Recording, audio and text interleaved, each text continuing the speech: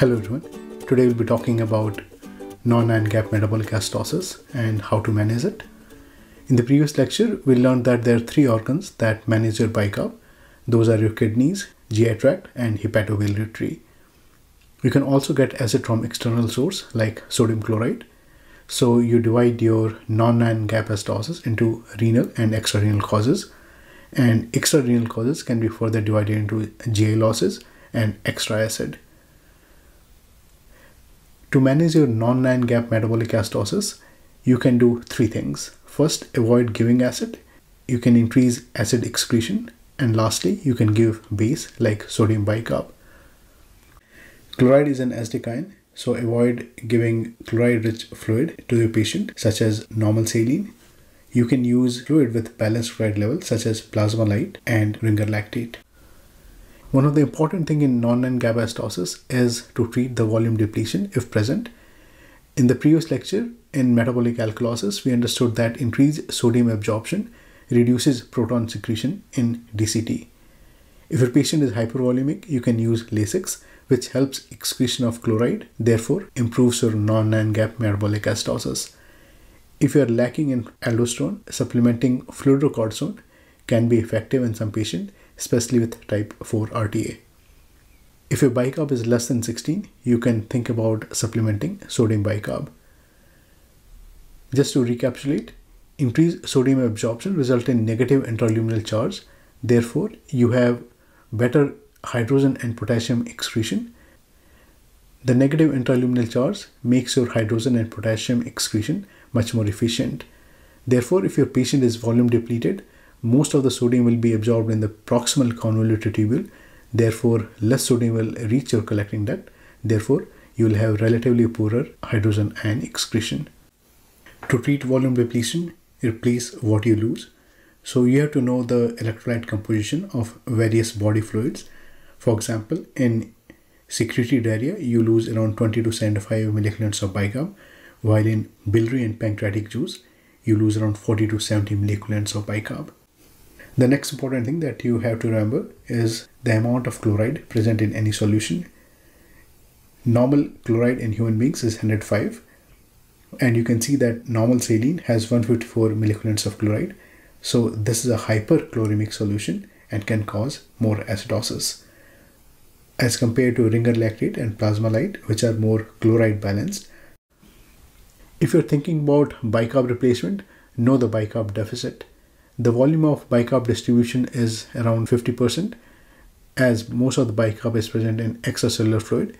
And if you multiply this by weight and change in your bicarb that you want to achieve, you should be able to get bicarb deficit. So for example, in a 72 kilo person with bicarb of 10, if you want to bring the bicarb up to 24, your bicarb deficit will be 0.5 into 72 multiplied by 24 minus 10, that is 504 millicoulombs. Since you also notice that he has 2 liter of secretory diarrhea with stool bicarb of 50, add this amount as he's losing this extra bicarb to get more accurate bicarb deficit. So in this case, since he's losing 2 liters, he's losing another 100 millicoulombs daily from the stools. So if you want to correct this bicarb level from 10 to 24 in 3 days, you add the total amount of bicarb, which will be 504 plus 300 divided by 3 so this patient requires 300 millicoulombs of bicarb so that he can reach from 10 to 24 in next three days. Always make sure that you replete the volume status as well as hypovolemia will result in sodium retention and decreased acid excretion and you may not be able to achieve your target. Bicarb come in 8.4% solution and this is at the concentration of 1 millicoulomb per ml it has around 50 ml so one vial of sodium bicarb has 50 millicoulombs of bicarb. To make an isotonic sodium bicarb solution add 3 amps of 8.4% in 1 liter of water. Here you will get 150 millicoulombs of sodium and 150 millicoulombs of bicarb with osmolality of 300 milliosmol per liter. So in previous case that we talked about since you need 300 millicoulombs of bicarb daily you will need around 2 liters of sodium bicarb solution in a day. So if you start him at 80 cc per hour of bicarb solution, you should be able to achieve your target. If you want to give oral bicarb, convert the milligram into milliequivalents and you can do it by dividing by 84 which is the molecular weight of sodium bicarb. So 650 milligrams of sodium bicarb is approximately equal to 7.5 milliequivalents. Bicarb therapy is commonly used in ICU, floors and in ER. However, you have to understand two big complications of bicarb therapy. First is increased CO2 generation. In acidosis, if you give bicarb, it's going to combine to form carbon dioxide and water. And since CO2 is easily diffusible across the cell membrane, it can enter the cell and can cause intracellular acidosis. If you remember, the bicarb is a charged ion, so it doesn't penetrate the cell membrane as effectively. So if you're unable to ventilate and get rid of the carbon dioxide, you are going to cause more problem with this issue. Intracellular acidosis can be detrimental to cell function and can result in poor outcomes. Having said this, the jury is still out there and there are studies that have proven intracellular acidosis while some other studies have refuted this construct. In one study, they found that there was increased carbon dioxide generation by 40% when you use bicarb drip at standard rates. The second problem with bicarb therapy is reduced ionized calcium levels. If you remember, calcium is bound to albumin and in acidosis, this is replaced by the hydrogen ions. So there are a lot of free calcium in serum as an ionized form, which are active form. As your acidosis corrects, the hydrogen ions are replaced by the calcium ion, so your ionized calcium decreases and can result in problem with hypocalcemia.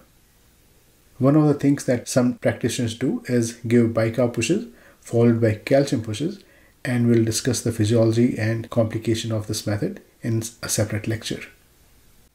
So whenever you initiate bicarb therapy, assess the risk and benefit of acidosis from non-anion gap and risk and benefit of bicarb therapy pH less than 7 can result in cardiac dysfunction. It can certainly decrease the contractility, but researchers have not found any change in cardiac output despite low pH. Acidosis can result in increased pulmonary artery vasoconstriction, therefore elevated PA pressures. Low pH can also result in blunted response to adrenaline, which is seen in pH less than 7.1. However, there are a lot of advantages to acidosis, which you have to understand.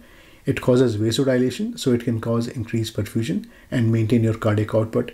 It also increases oxygen delivery to the tissues, which is very important in critically ill patient. Giving bicarb therapy results in increased CO2 production, so you have to make sure that the ventilation is adequate. It can cause intracellular acidosis, which can result in poorer outcomes, and certainly it can lower the calcium and therefore can cause hypotension. In summary, most important management principle is avoiding normal saline and using more chloride balanced solution such as ringer lactate or Plasma-Lyte. Other advantage of ringer lactate is it has calcium in it so it can blunt some of the hypocalcemic response. Always treat the volume depletion if present and replace what you lose. If your bicarb levels are less than 16, you can think about supplementing bicarb. However, understand that bicarb use comes with CO2 generation and reduced ionized calcium. If you're hypervolemic, treatment is pretty straightforward. You can use Lasix that will cause metabolic alkalosis, which will counter your non-anion gap acidosis. These are the references. Thank you.